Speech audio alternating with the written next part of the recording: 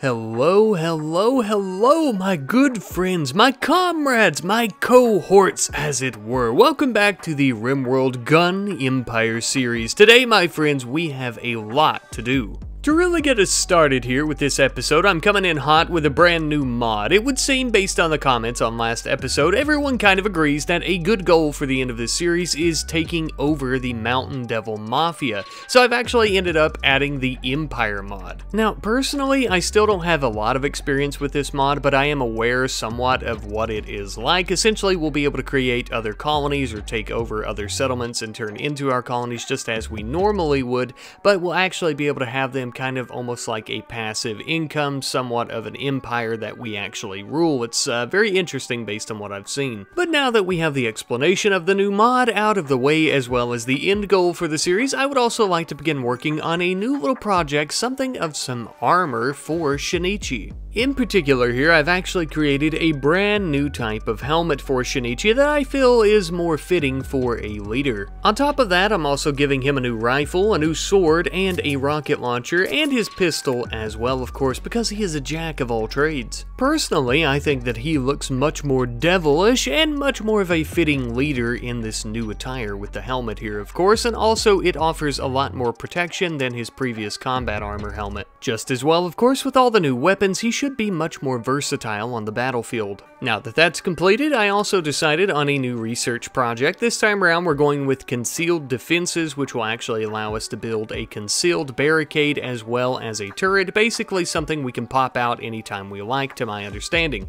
Then, of course, we would also begin working on some car parts, because today I would like to begin building a brand new vehicle for us. Though, a little bit of a spoiler alert here, unfortunately, I didn't realize the vehicle's size, and I didn't build enough car parts right from the get-go here, so we have to make some more later. Uh, while we were doing this though, we did finish up that defense project, which also means it's time for me to pick another research project. This time around we're going with combat vehicles, which is very fitting for what we're building, right? Specifically, I wanted to build the Wisent, I believe is how you pronounce it, essentially a very large transport truck. For troops, or goods and products, or both. Essentially, my thought process here is we're going to need a large enough vehicle to transport all of our mercenaries, right? We can't just have them marching up and down the roads every time we go and try and take a new settlement. Although, of course, we're not going to be able to resolve that issue if we're not able to build this brand new large truck, right? And we're not going to be able to do that currently because our resources are just a teeny tiny bit depleted. I know what you're thinking, Rat Knight, you are a smart, handsome young lad, and you specifically put in the mod that allows you to set up camps. I know what what you're gonna do. You're gonna go set up a camp and start mining some hills, right? Well, unfortunately, my friends, sometimes I can be a little bit lazy, and we have plenty of money. I thought it'd be easier to send out a caravan to buy some steel, if we don't hit a Biko on the way. Okay, looks like we're good. Anyhow, we're actually gonna go out and purchase some steel from the rebels and the marshals. Now, as I was mentioning, it is completely free for us to go out and set up a camp and start mining out hills, but it takes a very long time. Uh, people begin trying to have mental breaks because they don't like camping out with no pretty sights around. You know, it's a whole shit show sometimes. But you know, most of the weapons that we're trading here were actually won in battle, not created by us, so technically they were completely free and we're getting these resources for selling them. And by that math and logic, these resources are kinda sorta free. As we were making our way towards the rebel settlements to do a little bit of trading with them, we actually finished up the combat vehicles research that we were working on, so now it's time for us to begin making more car parts, as I was talking about earlier, because I made a little oopsie in my calculations. We didn't need too much, maybe a few more wheels, some more engine blocks, as well as another fuel tank, and with that, we had enough parts to actually build it, we just needed the steel now. As we were waiting on Scott to return home with all the steel that he had been trading for, though, we had some out Outlanders that were here looking for him, possibly maybe trying to strike up a deal or something of that sort about some weapons perhaps. But this conversation was ended abruptly when I noticed that we had a raid from the Confederacy of Bana who were apparently attacking us in three separate groups. Obviously, of course, among these three separate groups there were quite a few soldiers, the standard uh, death squad members, the armored soldiers, and yada yada, but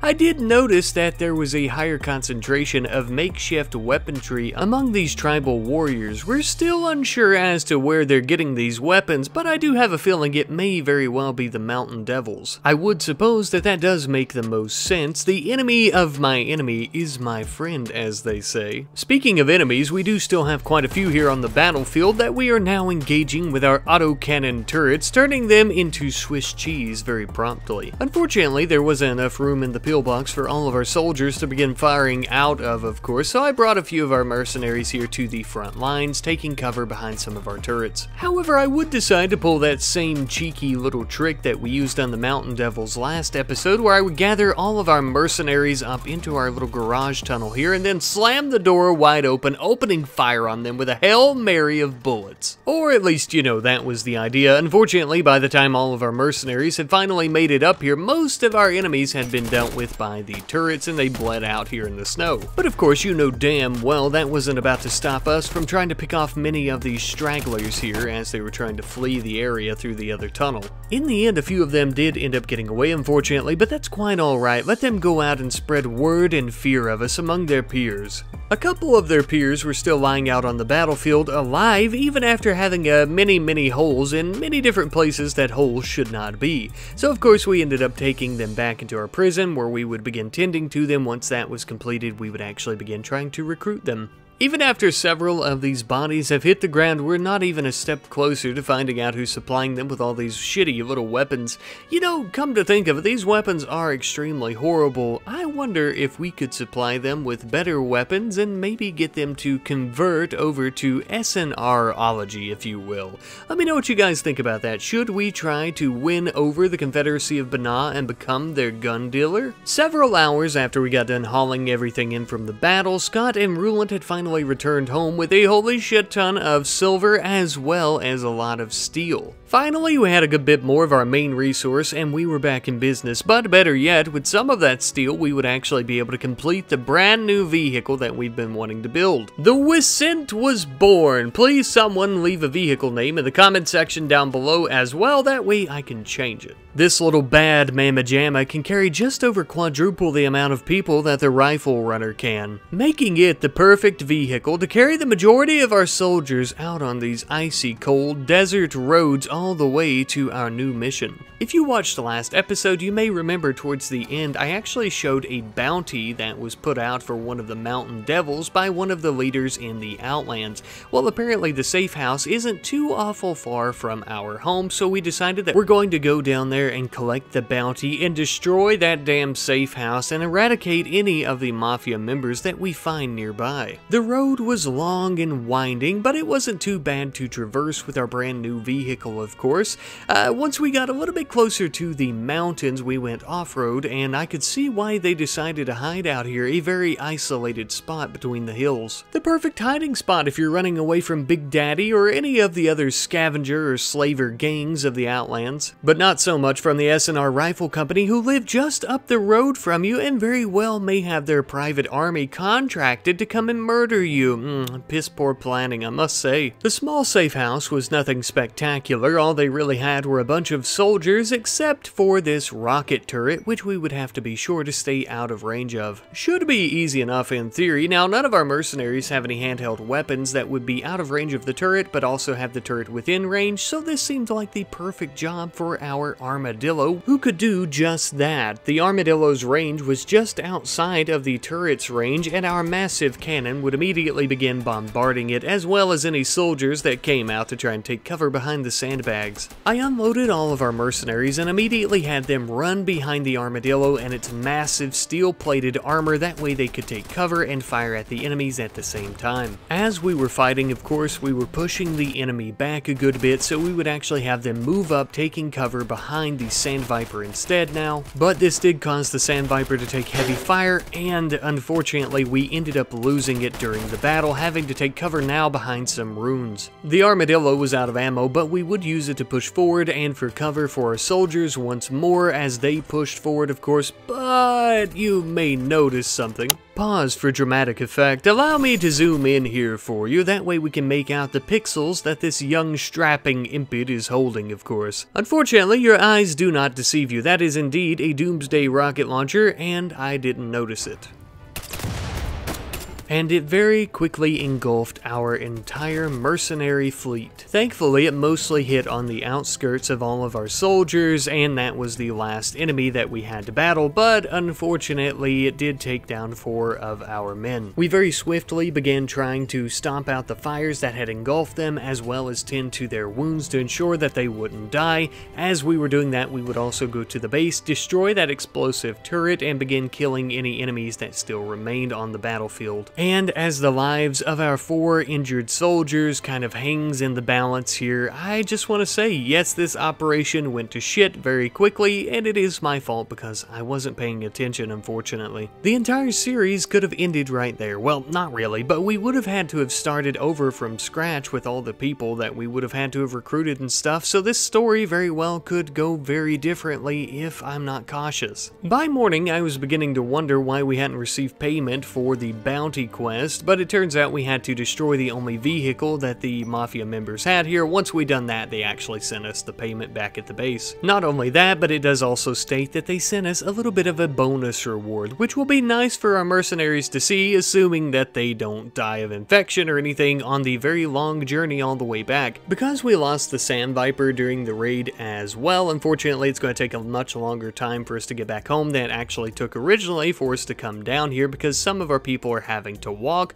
On top of that, it is currently wintertime, so the snow is making things a little bit more difficult. In the meantime, I did decide to check back at the base, and it would appear that they did actually pay us the 80 something gold that we were owed for the bounty, and I think that the bonus gift here might have been these cigars. I tried to check the history messages, and it didn't specify what the bonus was, but this was the only thing I don't remember us having. If we hadn't planned on conquering the Mountain Devils, I would almost say that Safe House raid was a complete bust because all we got for our efforts was some gold and cigars when we got four of our people severely injured with shattered legs and missing limbs and shit, and uh, we also lost our Sand Viper, but I guess we'll call it a win. For several days, I just kind of took care of the base up until the mercenaries had finally returned home. After they got back, they immediately pulled into the garage and began dropping off all of their cargo, which wasn't much more than weapons and things like that that we got from the raid. At the very least, we can sell those weapons for a lot of silver, of course, so it does make the raid a little bit more bearable. For me, of course, not for the mercenaries. That was a very stressful situation, so much in fact that Fox and Larone actually got into a social fight. From what I understand, Larone actually blamed the entire Doomsday rocket launcher event on Fox because of the mangled scar he has on his brain, saying that that was the reason he didn't see it, something like that. Regardless though, after smacking each other around for a while, they ended up working out their differences. Truth be told, of course, I'm just glad that we all made it back home alive, even though several of our people were pretty injured with some shredded scars and missing limbs.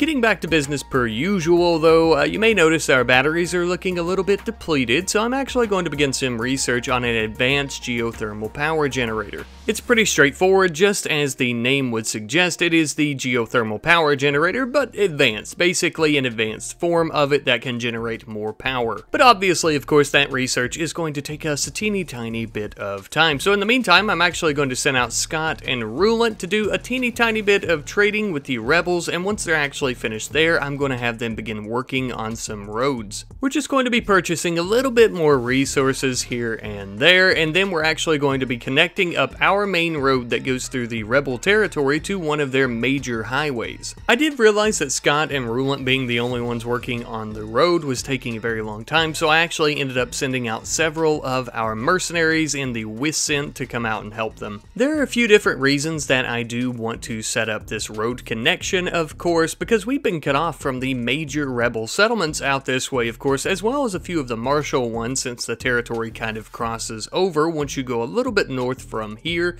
Uh, so, of course, that's going to open us up to trade with them pretty easily, but also, this is the same road that will actually connect up with the Mountain Devils main settlements as well. And if we expect to try and conquer them, that does indeed mean that we're going to have to be able to get over here pretty conveniently. I will say I kind of underestimated the project a little bit it from the get-go, and I didn't expect to have to feed this many people for this amount of time, so we actually ended up stopping in at a Marshal Service settlement and purchasing some food. All they really had were some ruined beef scraps that somebody over-fried on a grill, but I suppose it's nutrition enough. And after that, now starts the longest, most tedious part, trying to connect the rebel settlements to the mountain devil settlements up this way, of course in the northern section. That way it's going to be extremely convenient for us to ride through this little dirt highway that we're building and start conquering. Of course at some point I would like to try and upgrade the roads that we're currently building. That may be after we end up conquering a few of these settlements though, that way we can establish a very quick road in case those settlements actually need our help. But that's going to be a little while because as you can see, this little dirt path we're currently building is taking forever. So long in fact that Downs had finally finished her extensive research into advanced geothermal power, which was perfect because now we could get rid of one of the geothermal generators that we were actually using and replace it with an advanced one. Of course, to do so though, we would actually need to have a Abiko here begin creating some advanced components for us as it would require four for the new geothermal power technology. Once we finally had four of those created though, it was time for us to remove the previous geothermal power generator and we had Fox do that as he actually has the highest construction skill with Richard and everyone else actually being out working on the road. Which was fine, but Fox was a little bit slower at moving and stuff because of uh, the mangled scar as we talked about. It did eventually get finished though, and as you can see, the advanced geothermal generator actually makes a lot more power than the normal one. So the advanced one is putting out about 7,500 watts of power, and a normal one puts out about 3,600. So essentially just over double the output of a standard one, so now we have two for the price of, well, uh, an advanced one I suppose. I also wanted to mention by this point we've also ended up recruiting three new people into the ranks of our mercenaries. I've done the best I could with their armor and whatnot. We tried to make them some light combat armor, but I didn't really have enough for any helmets. They'll make wonderful additions to the company though, of course, by this point with any pawns, because we just have so many people that can do cooking and cleaning and crafting and construction and all the skills and things that we really need done. My criteria for new mercenaries is basically just whether or not they can fight and if they're decent at it enough. Not too far away though, our boys in green have finally completed the massive dirt path highway that we've been working on, and as you can see from this little diagram that I ended up making, these are the roadways that we're now connected to. As you can see circled in green, that's where the base is, and this yellow roadway is basically the brand new road that we've actually created that's going and skirting through Marshal and Rebel territory directly through the Outlands right into where the Mountain Devils are. It also leads down into the Thrumboian Union territory. You'll also notice that the Outlands here don't really have any roads. Obviously, they don't really have any infrastructure through the Outlands, nor really through the Thrumboian Union territory, except for some paths that maybe the tribes know about. But like I mentioned earlier, this new dirt path highway is going to help us a lot with trade with many of these major settlements out this way, of course, but also with our mission of conquest. Of course, we're not the only ones that have noticed the new superhighway we've created, though Marshal and Rebel newspapers are all writing about it, as well as talking about it on their propaganda radio shows. It would seem that they're all pretty overjoyed with us being connected to the main lands on both sides now, of course, and being able to do trade more efficiently. Everyone finally returned home several hours later, and unfortunately for them, the work does not stop because now that they're home, I actually have a defensive project I would like for them to work on. I'm sure you guys remember early in the video I actually finished the research for deployable barriers as well as turrets, so we're actually going to begin trying to utilize that technology.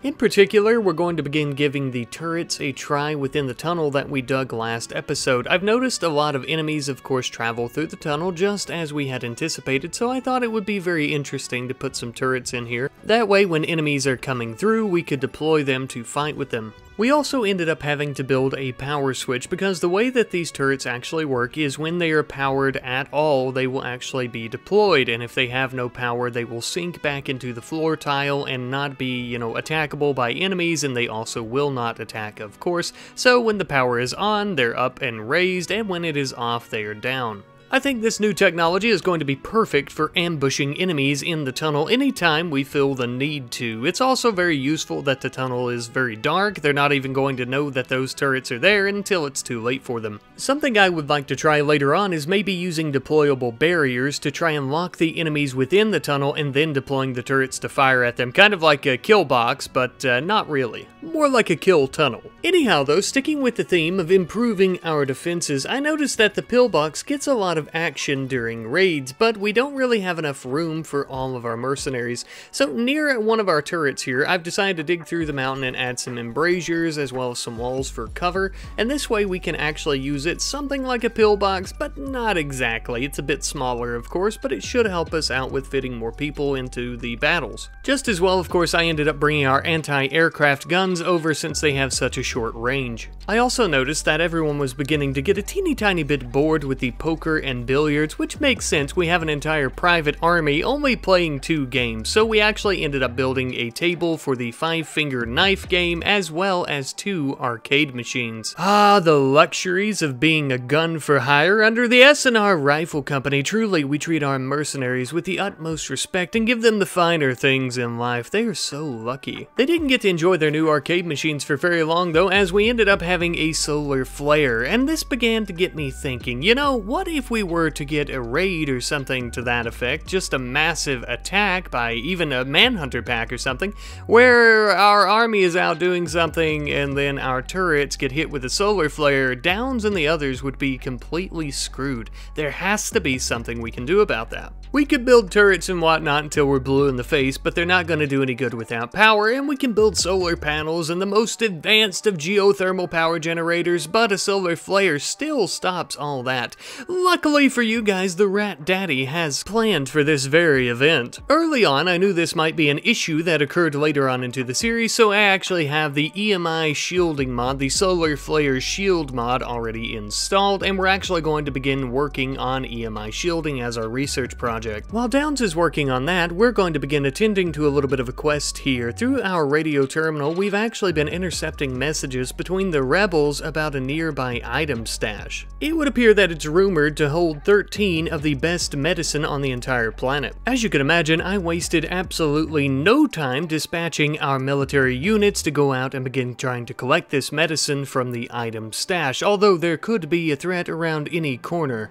As we were taking our massive new truck trying to traverse throughout these small hills, we were actually intercepted by a Thrumboian Union Mechanator, Mechaniter, whatever they're called. There were two recon mechs along with them, and they were blasting the shit out of our vehicle, so of course we ended up getting out very swiftly and began firing at them. First and foremost, we would try to focus on the mechs as they were the more dangerous with their charge weaponry, but of course Shinichi would lob a few grenades at the Mechaniter themselves. Once he was down, we would have our soldiers surround him, and we thought about questioning him, or maybe even capturing him to have him join the mercenaries, but instead we decided to strip him and then begin firing at him. An execution seemed fitting given the circumstances. Turns out though, this handsome young fella had a reusable mech link that was in his brain. I don't know if the helmet put it there or how it got there, but apparently we could take it out and take it back home with us. I guess we'll decide on who gets the mech link in the future. We still have a lot of mech tech we would have to research first anyhow. We would then send our soldiers in to cautiously begin clearing the area as well as checking out the actual item stash itself. Turns out the rumors were correct. There was indeed 13 Glitter World medicine in here, which would be very useful. And of course, with that being said, the only thing that was left to do now was for us to load everything back up into the truck and then begin heading back home, which of course we did. Just after returning home, Downs and Jet had finally finished their research into the EMI shielding, so now we're going to be able to build a solar flare shield. But before we do that, looks like we have a wedding. Ah yes, it would appear that Kirkos and Min are finally tying the knot, a beautiful spectacle to behold right here in our very own dining room. Though I do love this much more than any old solar flare shield, unfortunately love is not going to save us from the sun's radiation, so we need to get back to business. Shinichi would come into Down's lab where he would then finish up the solar flare shield. Now we shouldn't have any issues or any worries about all of our power grid and electronics shutting down while we're away on a mission, or in general for that matter. And now that that is no longer a concern, it is time for us to begin stockpiling a few things such as fuel. Now there is a big reason I want to do this and I am ready to announce it. We are now going to begin conquering the Mountain Devils. Yes, indeed, in this episode, right now. We're loading up and prepping all of our vehicles and weapons and everything that we're going to need. Now, originally, I didn't want to do this this episode, or I wanted to, but I hadn't planned on it, I suppose,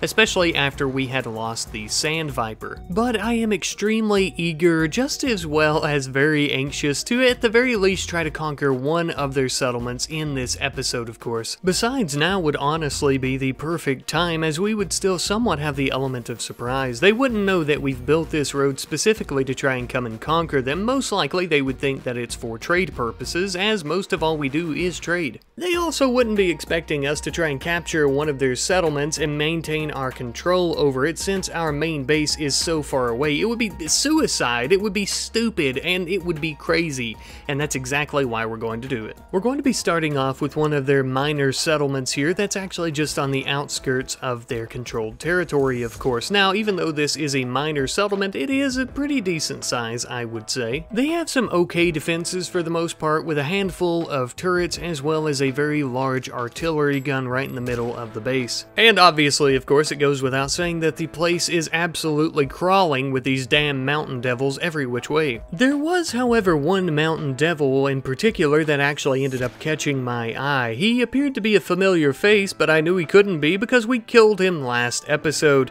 Looks like we have the Duke Commando's son here, Commando Jr., though he doesn't appear to hold any status or ranking within the Mafia. He, along with his many comrades, would hardly be any concern to me. The only thing I was actually concerned about, and very concerned at that, was this refurbished infantry tank that they were working on. Not to fear though, I assumed we might see some type of vehicle, so I actually loaded several of our mercenaries up with explosive weaponry. Besides, I'm sure the armadillo would eat this bastard for breakfast. Speaking of which, before the battle actually began, of course, I would need to come up with something of a game plan. I brought the rifle runner and our new large truck down, got all of our soldiers out, and then began getting them into position just before I would actually unload the artillery along with several shells, and we would also begin putting those into position as well. For the time being, we are going to begin holding our fire until everyone else was ready, though, of course. I was extremely afraid that their refurbished tank would catch us off guard, so I had the armadillo come around along with Shinichi and two of our other soldiers who were equipped with rocket launchers, just getting ready in case it does get to us very quickly. I would have the men come down and group up with the tank just behind this small rock formation that's not too far from the settlement. After waiting for several hours, then the battle really began. I would lead with the Armadillo tank here, trying to take out the turrets that were on the outskirts of their base. That way they couldn't injure any of our people, having the soldiers come behind it, using it as cover, firing their rockets at any of the foolish Mafia devils that came out. Hearing all the commotion now, the others knew it was time to get into position, as well the artillery knew it was time to fire, and they began letting shells off into the air. As the shells began pounding the base just as well as the Armadillo's massive turret, the refurbished tank showed its ugly face. Unfortunately, it did have a much farther range on its cannon than the Armadillo,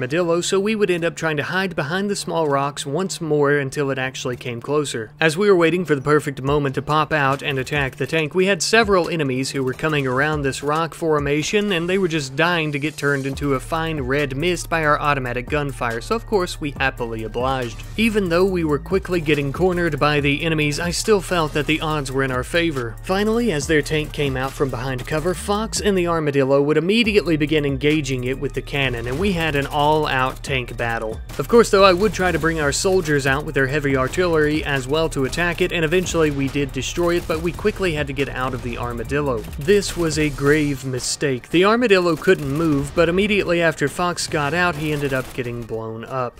Unfortunately, as the grueling battle continued, Fox's death would quickly be followed up by Abiko's, who was also blown up. We were boxed in, but we had finally killed or injured enough of the enemies that they had actually began fleeing, thank God. As the enemies were fleeing, we would quickly grab our wounded and run and try to hide, that way they didn't see us and start shooting at us and we could try to avoid any more deaths. Which also of course meant that we couldn't fire at any of them as they were fleeing, which also meant that Commando Jr. here would end up leaving the area safely. A shame, but not to worry, he'll see his father sooner rather than later. As the ice-cold rain began falling from the sky upon our weary heads, we were attempting to tend to our wounded to avoid any further casualties, of course. Once we had completed that little task, we also sent a very small task force in to try and clear the area around the settlement, just as well we began putting out any fires that we found as well. Though the place is pretty damn shitty, we do want to try to save any infrastructure that we can if we're going to call this place place home. And this place is indeed going to be home, well, at least our second home, and the home for many of our soldiers now that the battle is finally over and we have arose victorious. Finally, our conquest has began, truly began, and our first battle was a complete victory. Of course, though, we were not without our losses. But this is a war, sacrifices are expected. Now that we finally conquered this settlement, we will actually claim it as our own, our stronghold within the enemy territory. A bright, beautiful, shining light at the end of a deep, dark abyss. With our home being claimed now, though, it's time for us to lay our dead to rest. We would end up digging two small, shallow graves not too far from the new settlement where we would actually bury Fox and Abiko's lifeless corpses. Their sacrifices will not go in vain, nor have they already.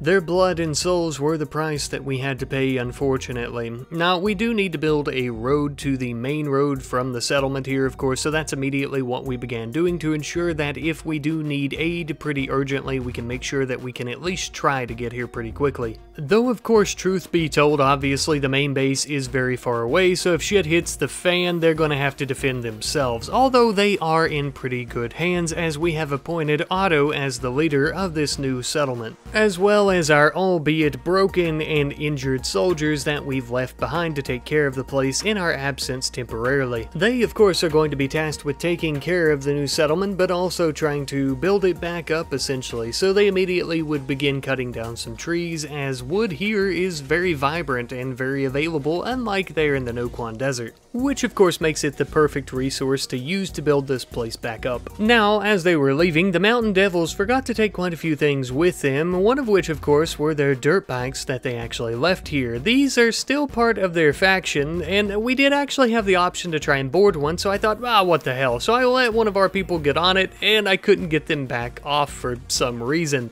So I actually ended up having to have another soldier come over with his sword and beat the shit out of the dirt bike until it fell apart, and then we had our soldier back. Very weird. Because of this and the fact that I couldn't claim these dirt bikes for us, of course, I decided that they weren't really good for much more than scrap metal, so we immediately began beating the shit out of them until they fell apart into some gold, components, and other parts. Because the foolish mountain devils actually left so many resources behind in their wake as they were fleeing the settlement, we actually would get a pretty good start here with a geothermal generator to boot. That should really help us out since we don't have to bother building any of these smaller power production areas like solar panels, or a fueled power generator, things like that of course. Then for a time we would just kind of work on some improvements around the base like repairing certain structures, building onto them with more wooden walls, we built some batteries, just some different things like that, and we would also end up deconstructing many of the walls and floors and whatnot that we wouldn't need. But my friends, we are winding down to the end of the episode here, and I just want to thank you guys ever so much for watching today's episode. I truly do hope that you've enjoyed. I had a lot of fun with this one. We had a lot of violence going on, a lot of raiding and attacking and stuff like that. So,